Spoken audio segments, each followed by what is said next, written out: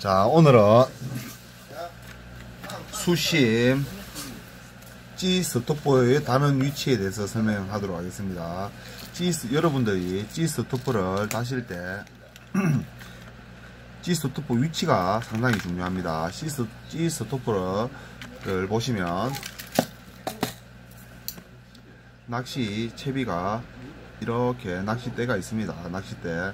낚싯대가 이렇게 있으면 찌 스토퍼를 다실 때 찌 스토퍼는 어디다 다는 게 제일 좋은지 설명해 드리도록 하겠습니다. 찌 스토퍼는 봉돌. 봉돌과 이 찌 끝이 마주치게끔 찌 스토퍼를 달아줘야 됩니다. 찌 스토퍼가 찌 스토퍼보다 스토퍼를 조금 길게 주면 남아있는 이 목줄에 찌가 감길 수가 있습니다.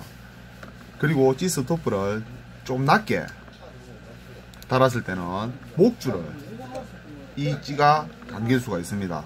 그래서 봉돌 수심 수중 봉돌 수중 봉돌 수중추의 끝과 마주칠 수 있게끔 찌 스토퍼를 위치를 고정해 주시는 게 제일 좋습니다. 그러면 이 끝이 수중추를 때리게끔 때리게끔 그러면 절대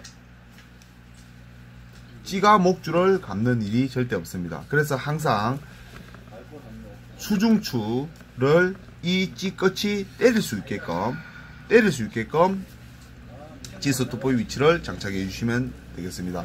그러면 즐거운 낚시 하십시오. 감사합니다.